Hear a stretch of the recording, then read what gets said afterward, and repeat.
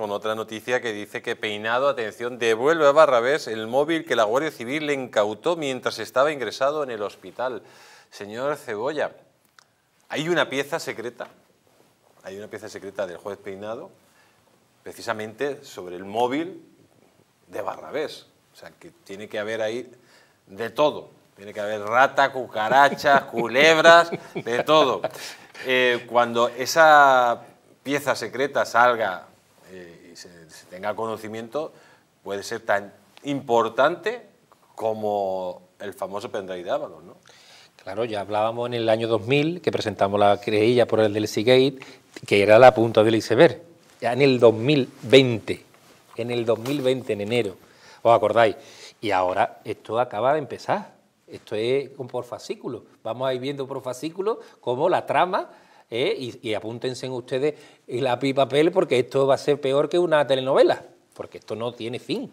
Esto no tiene fin y, por supuesto que, ahora es cuando saldrá la verdadera, la verdadera, todo lo, la, verdadera morralla. La morralla y todo lo que habéis por debajo de la mesa que, es tan oceno que no, que no debe verse, ahora lo vamos a ir viendo, porque esto tiene fecha de caducidad. Yo no sé si, si es tan optimista como enero, pero pero cada vez más cuesta arriba se le pone a Sánchez y a su familia.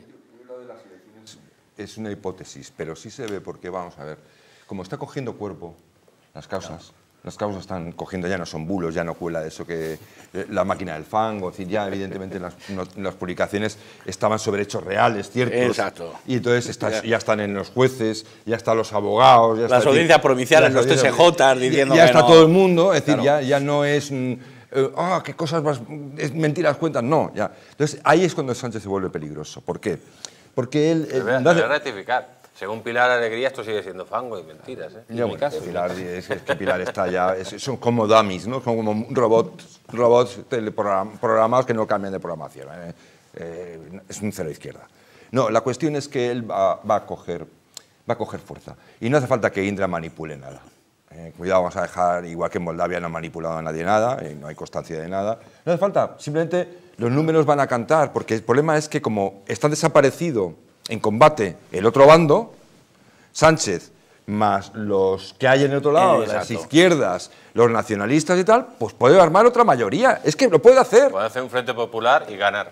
Claro, y entonces está muy tentado, va a estar cada vez más tentado de convocar las elecciones con ese panorama, porque entonces este es un animal. Es un tipo peligroso, un animal político y animal del otro. Es un tipo peligroso que ante eso va a lanzar el órdago de ganar o constituir una mayoría electoral después de unas elecciones y desafiar al Estado, que queda todavía al Estado de Derecho, ¿eh? y a quienes quieren hacerlo valer, diciendo, el pueblo ha hablado.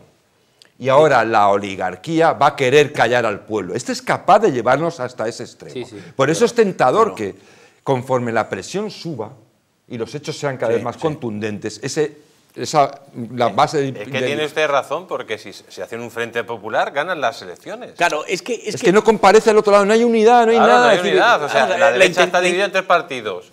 Y ellos irían en un partido, o sea, irían socialistas y comunistas unidos, más luego toda la patulea. Toda la patulea, es decir, es decir, esto es un sistema parlamentario. Es decir, aquí el poder consiste en constituir una mayoría, que el PP todavía no se ha enterado. Han pasado seis años y ganamos las elecciones. Usted ganó, no ganó nada, hombre. Fue el partido más votado, pero usted no ganó nada. ¿Quién gobierna? El que constituye mayoría. Y esto se puede repetir.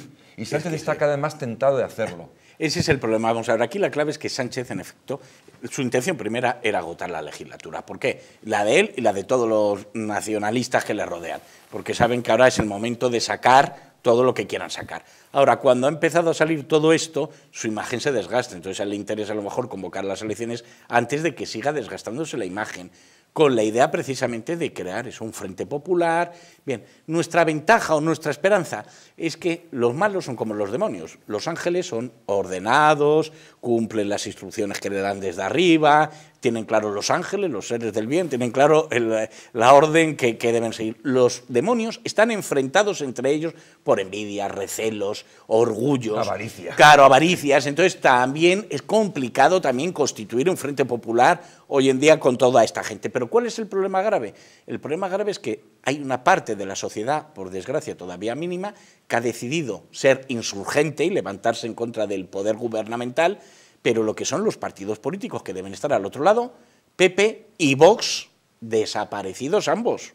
Sinceramente, desaparecidos ambos. Alvise, bueno, ya va a desaparecer por propia Lo que hemos visto de Fijo, perdón, lo interna. que hemos visto de Fijo con Isabel Díaz Ayuso es una mos- demostración primera de pé- pérdida completa de coordenadas, de dónde te encuentras en este momento Exacto. eh, político. Y segundo, de debilidad mayúscula, mayúscula, porque Fijo no tiene poder.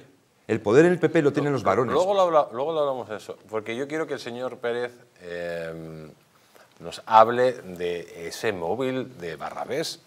El móvil de Barrabés, que puede ser como el pendrive de Ábalos, porque Barrabés hablaba con Begoña, Barrabés hablaba con Sánchez, y ahí puede haber de todo. Bueno, allí incautado el móvil, correos electrónicos, ordenadores, hay un poco de todo. Él ha pedido la devolución del móvil, que se la ha devuelto después de que, imagino yo, la Guardia Civil la haya vaciado, porque en efecto eso está pendiente de un informe de la UCO. Y es que además hoy en día el móvil, bueno, yo todo el mundo sabe que yo no tengo WhatsApp ni nada por el estilo, pero como la gente tiene allí el WhatsApp, la nube, el correo electrónico, lo tiene todo en el móvil, el problema es que va a salir todo.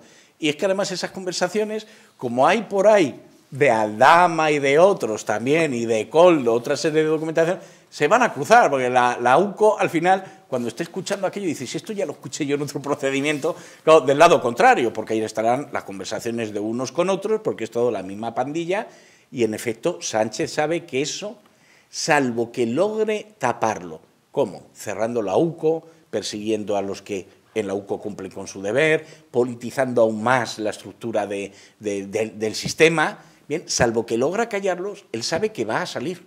Y es más, aunque oficialmente lo cierre eh, y lo impida que salga, sabe que mucha gente va a filtrar datos. ¿Por qué? Porque, es necesario que España sepa lo que hay. Entonces yo le auguro un futuro bastante, bastante negro a Sánchez, salvo que haga esta, esta jugada de salir reelegido nuevamente y entonces la gente que está luchando con la esperanza de que esto le queda poco, decir cuatro años más, dejó de luchar, nos rendimos. Y es lo que le espera, que se rinde la sociedad.